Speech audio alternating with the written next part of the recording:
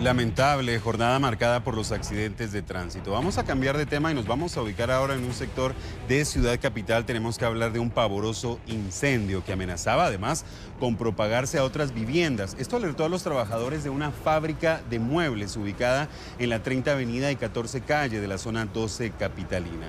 Rápidamente dieron aviso a los cuerpos de socorro, quienes a su llegada trabajaron rápido para poder sofocar las llamas. Según indicaron, el fuego inició en un área de esta mueblería donde habían sustancias altamente flamables, lo cual provocó que se propagara de inmediato.